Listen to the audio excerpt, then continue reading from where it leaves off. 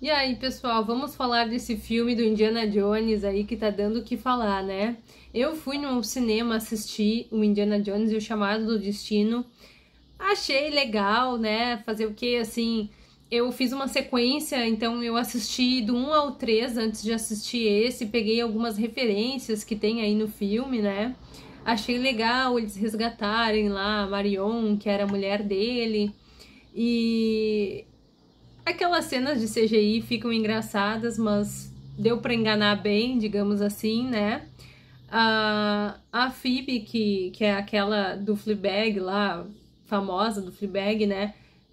Tá legal aqui, mas ela parece praticamente a mesma personagem lá do Fleabag, para quem conhece. Tem o Mads Mikkelsen uh, como um vilão novamente, achei bem interessante aqui como é que ele ele faz as coisas e o Harrison Ford tá, tá velhinho, né? Fazer o quê?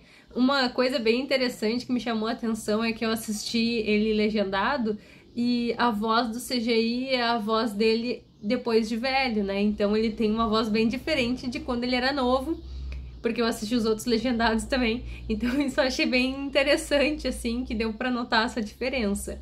A gente tem no elenco também o Antônio Bandeiras.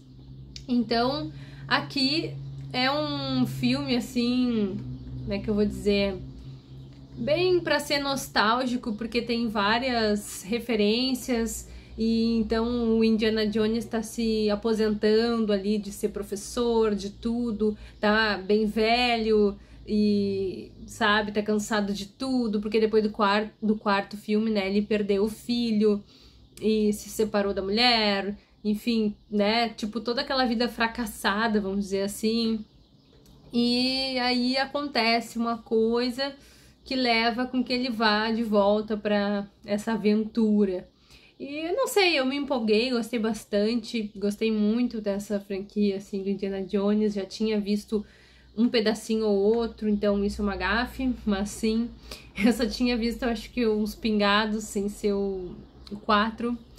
Então, mas gostei muito, acho que, que vale super a pena ver e gostei bastante também de ver no cinema.